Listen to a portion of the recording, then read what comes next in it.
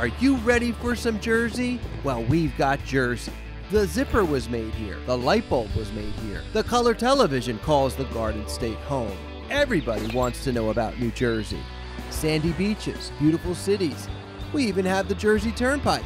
Inventors, music, the movies. You need an exit? We got them too. You want Jersey? This is Jersey.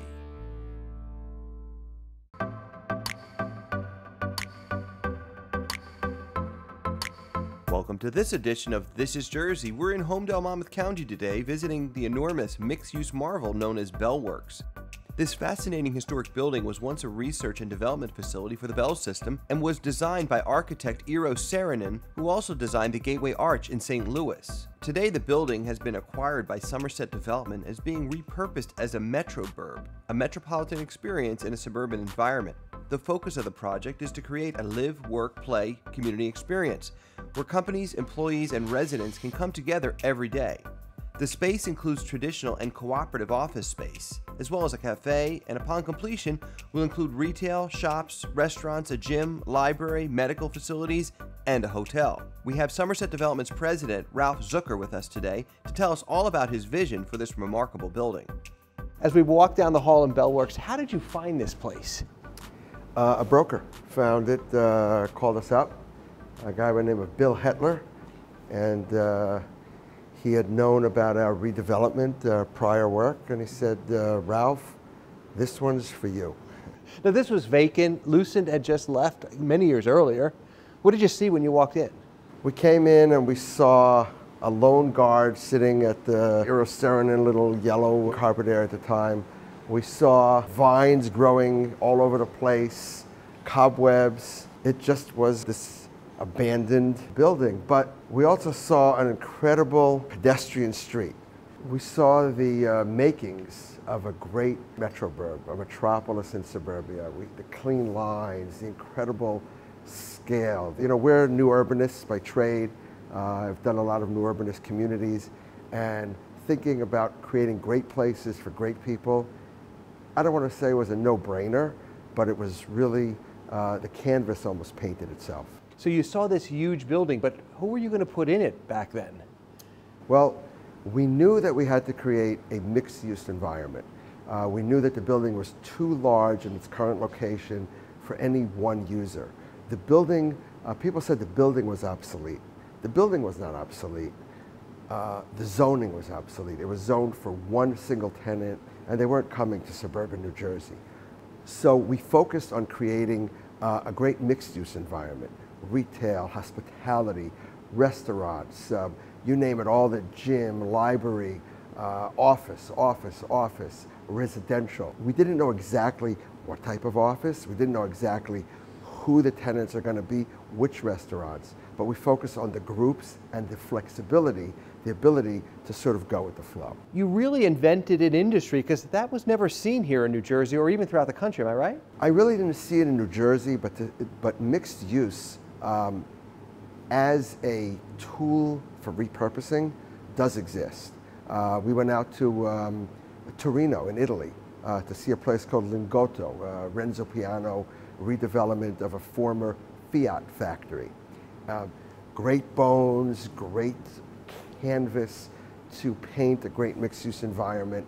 Um, so there are places in the universe that were an inspiration for us.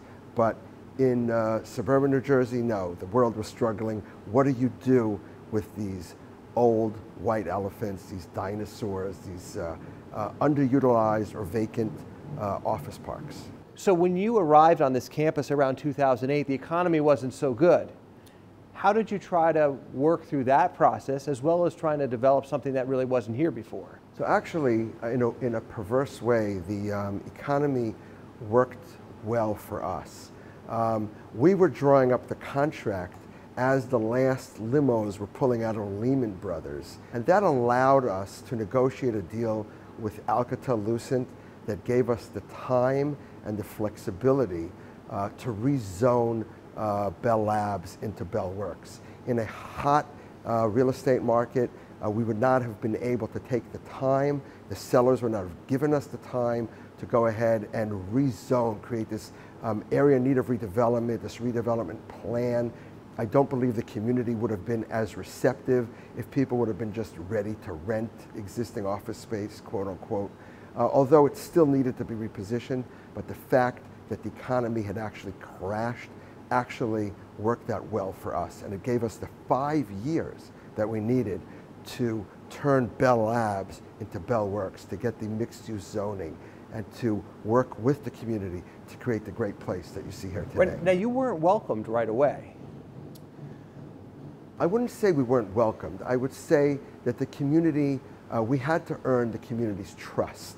Um, you know, uh, when you walk into a municipality, a town, and you say, okay, we're here to redevelop your largest single asset, um, your biggest rateable, something that's clearly going to influence the way you live.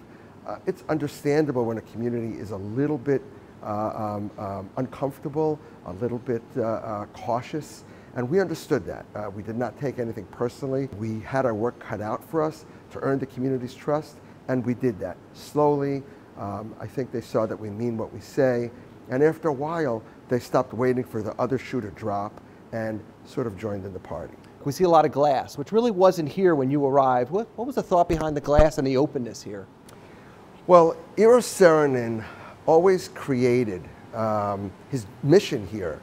Western Electric, Bell Labs, tasked Eero Saarinen to create a collaborative environment, a place where people sort of came out of their offices, away from their cubicles, into a common area to try and cross-pollinate, share ideas. Uh, used to be over a cigarette, if you see all those old ashtrays lining the atrium. But the space between the glass on the outside and the inside, we had these long hallways and then solid walls with almost no penetrations at all. No fenestration, no windows. If you didn't open a door, you didn't see the outside. Because we were also uh, applying for Bell Labs to be on the National Register of Historic Places, we had to deal with both the state of New Jersey, the State Historic Preservation Office, and the National Park Service, the federal government, to allow us to make this change to the original uh, building. Alexander Gorlin, who's the um, lead architect, uh, sort of the town architect for Bell Works,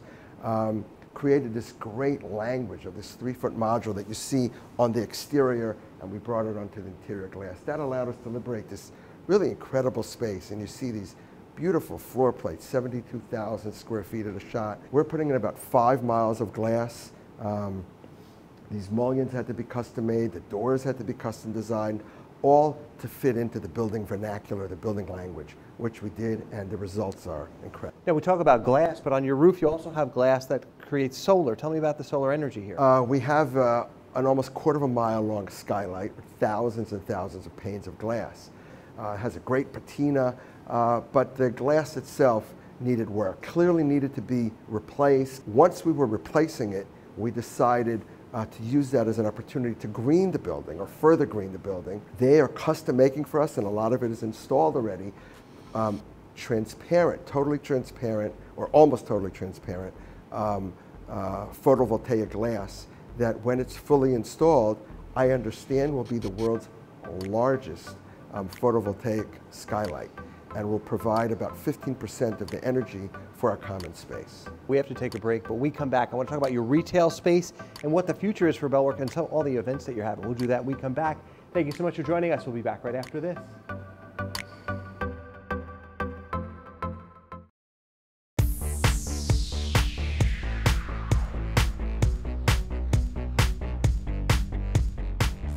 Welcome back to This is Jersey. We're in Holmdel today at the former Bell Labs building, now known as Bell Works, and we're learning about how this complex is gradually being transformed into a hub for businesses and the community to live, work, and play together. The building was outdated and in disrepair when it was acquired, and has been the job of Paola Zamudio, creative director, to bring it into the 21st century. Designing and furnishing this building is no easy task, and Paola is here to tell us more about what she's doing to make Bell Works beautiful. Oh, it's a dream job for me. Uh, every day is different. As you can imagine, this building with the history, with what we're creating for the future, it's an adventure to be able to work with all the architects, the designers, the artists, the filmmakers, the everybody, all these creative types at Bellworks is, is really a dream. Tell me your history. How'd you get involved with design? I went to school for communications uh, in Miami, but then I decided that I love interior design and also fashion. So I came to New York and I went to the new school and Parsons for fashion and then also for interior design. And then I decided to do a master's in Italy for trend forecasting, so forecasting of trends. So it all, it's like all related, the arts, fashion, architecture, design, and yeah, just I love everything that is like trends and fun. so when you first looked at this building, what did you see? What was your vision? The first time I came, um, it was a rainy day. It was dark. No one was here, and I literally I saw the future. Uh, first of all, by meeting Ralph and understanding his vision and walking with him, and he taking the time to express what he wanted to do in the building. I saw it and I understood because I also kind of like did some research on Eero Saarinen and what he did in the past of like creating this building for collaboration for meeting people, for doing all these experiments and all of these inventions. So I realized, yes, we are in a time that we want to do that. And I understood the vision and I saw it. How Eero designed the, the whole building is that people will run into each other, each other in the hallways and everything. Here, what we are trying to do, basically, the first space that I designed was the cafe in the middle. And it was just simple, just a space where people could just sit down, with their laptop and meet other people and that's how the whole ball started rolling you know and then when ralph told me oh let's design offices i started designing open space offices but also you know to have collaboration but also like to be inspired not to be in a cubicle not to be like you know constrained so it's you know it's kind of understanding where we are what people want that connection we're so connected to social media and Facebook and Instagram that we're kind of losing that humanity, you know? So this is the cool thing about Bellworks, that people, we're creating a community and people are here to see each other's eyes, you know, to talk. We can work from anywhere. I could work from New York every day if I wanted to, but I really love just coming here, feeling the energy, meeting people, and that's very important, I think. In reference to the public space, tell me some of your design ideas. And I know the original color flooring is still there. Are you going to keep that? So yes, we want to keep some elements. It's obviously the historic elements. We want to keep the integrity of those elements because we don't want to change what this masterpiece is. It's just perfect as it is. It's it, great bones, beautiful, but we do want to bring some new elements. So I call it retro futuristic because we keep the retro, but we add some futuristic elements. So I like to bring color. Um, I love using color. So I don't know if you saw in the main atrium, we have some uh, Frank Gehry um, seating that we use and now uh, in like six months we're going to receive some uh, special seating that we designed with a, um, an artist from London called Ron Arad. He designed this really cool seating um, just because he came to the space and he saw and he was like, I need to make something special. So that's, for example, something new. But he is, for example, uh, like uh, connecting it to the flooring that we did on the main atrium. That's a Josef Albers tile uh, pattern, and that was from the mid-century modern era. So it's all of these like kind of like respecting, but also bringing it to the future and like very ahead of. In reference to the space that's here now, what did you help design and, and what were you thinking when you did certain ones? The first set of pre-builds that we designed for, for Bellworks, these were meant to be like show offices and I had the freedom to design each one with a different theme, a different look. So I did a lot of research. And for example, the first one is very industrial looking. That's the co-working space, the Vibe co-working space. We wanted to be uh, kind of keep the open ceiling, the concrete, the polished concrete, bring wood elements um, because that was our first co-working space. We did also one called Bauhaus Futura, which is in reference to the Bauhaus art movement of the 50s era. And we did another one like based on Eero Saarinen's dream. I call it Eero's dream. Um, I use a lot of tulips because Eero loved tulips. And I, every office I try to give it like a little, you know, sense of where we are uh, connecting the dots. And um, now I just, I'm doing all of the pre other pre-builds in, in, other, in the other buildings. and they're more catered for each tenant that is moving in. You just also did the outside terrace? Oh yeah, so I designed the outdoor roof deck um, in collaboration with um, Melillo and Bauer and our master architect Alexander Gorlin. And that was great because, you know, it's very mid-century modern, but it feels new and it's just, people love sitting out there and it's, it's amazing. I know there's a lot of things that are going on here at Bellworks. Can you share some of the things that we should look forward to in 2018 and 2019? We are constructing all this big building, but what we are more excited about is the people who are coming here and that are creating a community and the community sense is what's important. For example, we had an eclipse viewing party and we thought there was gonna be only like 900 people and actually 4,000 people came to see the eclipse here. People from New York, like it's just like it's the icon of the building, but it's also like the people are excited to meet other people and to see what's happening. So I am I'm super super excited about the whole like art programs, film film pro programs, community programs, the um, library that is coming here. Um, we want to do a museum to preserve all the artifacts that that are in this building that we find every day. It's just really incredible. All the patents we have downstairs, a patent wall where all the scientists will put their patents every day showing them. We are really excited about the retail aspect of Bellworks, all the shops that are coming in, the food hall that is going to be run by world-known chef.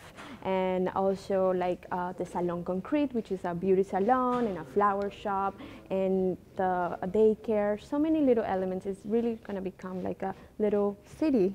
And uh, we're excited about that and also the hotel that we're building on the rooftop. And we're very excited for everything that is coming up at Bellworks. It's really inspiring to see this, uh, what we're creating and also to share it with the world. When we return, we'll hear from Somerset Development's president, Ralph Zucker, to tell us all about his vision for this remarkable building. We'll be back right after this. Welcome back to This is Jersey. We're continuing our conversation here at Bellworks with Ralph Zucker, president of Somerset Development, about the ongoing redevelopment of the building, the tenants who are quickly moving in, and the amenities it will offer once it's completed. I understand 80% of the building is now committed to be leased. Who were some of those companies and how'd you get them? The first companies that came here um, were small. I remember signing our first lease. It was 1,200 square feet with a local broker, actually. And uh, my heart was in my mouth. Uh, because, he still has that uh, spot, He still has that spot. And uh, I knew that I'm committing in a 2 million square foot building. I'm committing at least for five years to keep it operating for a 1,200 square foot lease. Um, what we did was we early on people would come in here they would say wow this is incredible.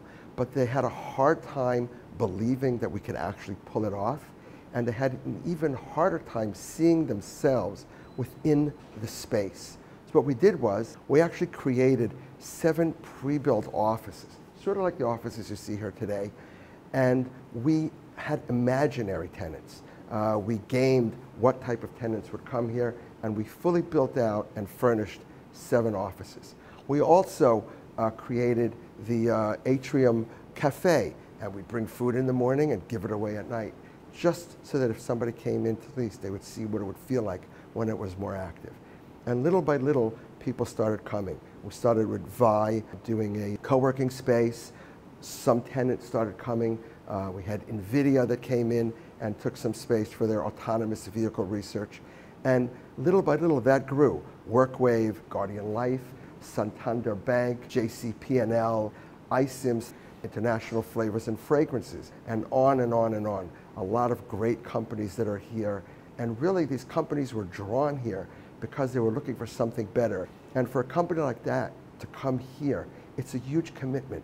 The infrastructure that they have to build a, to be in a place like Bell Works to try to make it work within the constraints of this mixed use environment. But they wanted an inspirational place for their people. Companies no longer are interested, nor can they get away with just hiring employees, paying them a living wage, and saying, here, this is where you're going to work. The employees, the, the, especially millennials, more creative, they are telling their employers where they want to work and how they want to work and smart companies, the companies that are here, are catering to that desire. So as we look around, I know you're going to add retail. Tell me what that component is going to look like.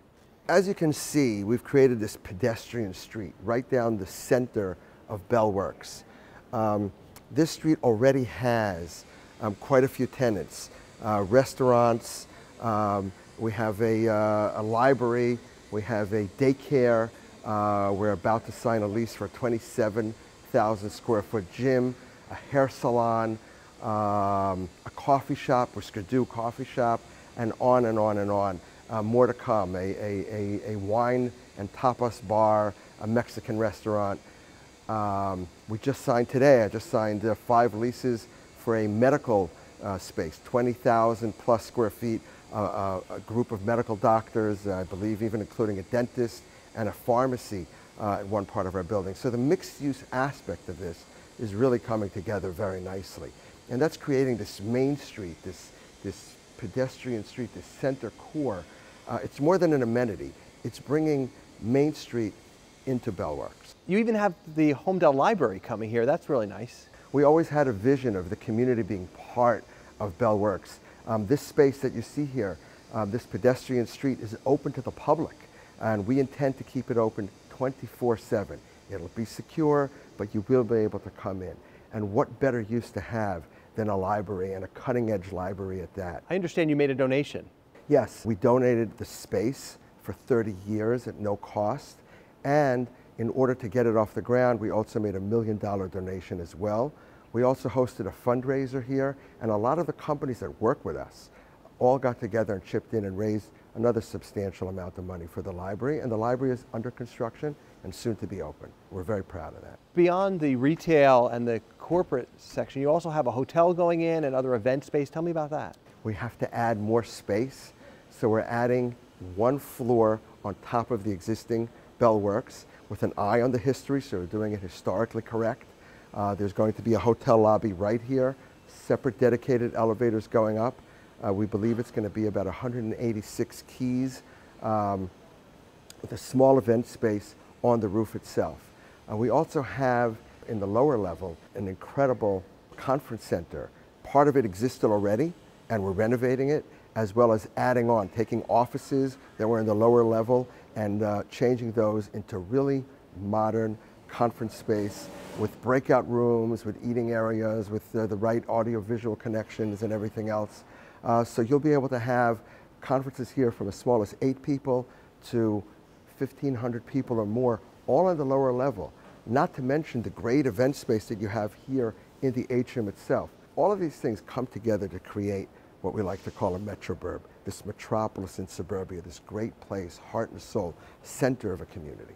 Beyond all this space, I know you have a lot of events here, not only for social events, but also for organizations. We always view Bellworks as Main Street as a place for the people. This is where we want the community to come together. So we had uh, the Holmdel Municipal Fireworks, which we hosted over here. Thousands of people came here. During the eclipse, almost 4,000 people came here to watch it. Uh, we've had everything here from drone races to fashion shoots to art exhibits. A few movies were shot here. Cadillac did a commercial here. The community itself, we've hosted communal fundraisers. Uh, we've had uh, tech meetups uh, hackathon. We've already hosted an event with 3,200 people here for dinner, and that's while we're under construction. It's a place for people to gather together. All of that, it's, it's just accretive to what Bellworks really is. It's really the heart and soul of a, not just a local community, but a worldwide inspired community. We like to say work inspired, shop inspired, be inspired at Bellworks. With just a few minutes left, what's the future of Bellworks? Is there an end to all this? Well, we don't hope there's an end. Uh, we do know that it's going to continue to reinvent itself, and the way we see uses today are going to change. Just think about the community uh, discovering new uses. We are approached daily with ideas, whether it's a rock climbing wall or a hanging garden or just a, a, a small communal space to exhibit some of the artifacts that were, that were here, some of the history. The tenants themselves are going to constantly reinvent themselves, and the way they're working today, I'm sure will change within the next 10 years.